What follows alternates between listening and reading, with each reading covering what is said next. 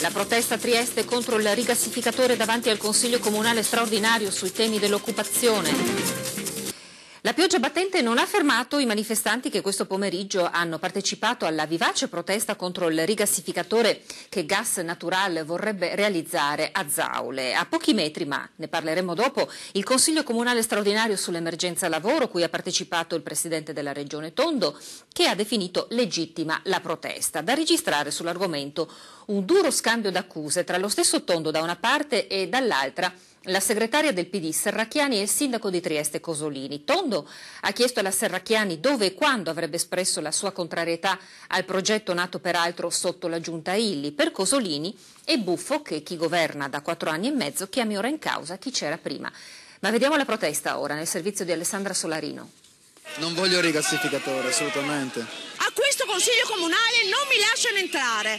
Sono una cittadina italiana, sono triestina, pago le tasse, il comune è mio. Ci fermeranno quattro gocce d'acqua, queste sono questioni importanti che vanno risolte subito, immediatamente. Sono in tanti sotto il palazzo del comune di Trieste. La questura parla di 300 manifestanti contro il progetto del rigassificatore di Zaule. Non li ferma la pioggia battente, chiedono di entrare nella sala del consiglio. Vogliono parlare con il governatore Renzo Tondo, che sta partecipando ad una seduta straordinaria sui temi dell'occupazione e sapere perché la regione, nonostante il parere contrario di comune e provincia, ha concesso l'autorizzazione integrata ambientale. Veniamo dal Friuli, siamo del Comitato per la vita del Friuli rurale che da anni sta combattendo contro le speculazioni dei piani energetici locali imposti nelle trattorie romane a un tondo che va a ricevere ordini e che vende la nostra autonomia. Stamattina a Roma al Ministero per lo Sviluppo Economico si è tenuto un tavolo tecnico organizzato dal Ministero di Corrado Passera per ascoltare i pareri degli enti locali coinvolti.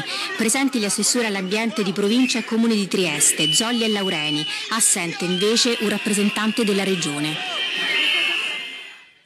È movimentato anche il Consiglio straordinario mh, comunale di Trieste sull'emergenza lavoro che è tuttora in corso. Sentiamo le interviste di Rossana Vesnavera al Presidente della Regione Tondo e al Sindaco Cosolini.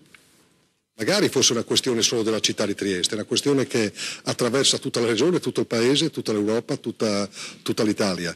Questa comunità soffre, perché evidentemente Trieste soffre quanto altro, e comunque più anche di altre.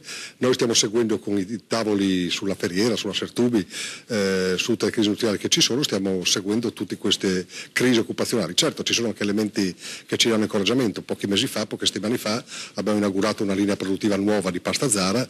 Mi pare che dobbiamo anche instillare nella nostra comunità elementi di fiducia pur in un momento di crisi. Tema del giorno non del Consiglio Comunale ma diciamo della cittadinanza e rigassificatore. Che risponde? Ma guardi, innanzitutto devo dire che sul rigassificatore la Giunta Tondo non ha ancora prodotto nessun atto, nessun atto. Gli atti sono, vengono da lontano, vengono dall'amministrazione precedente.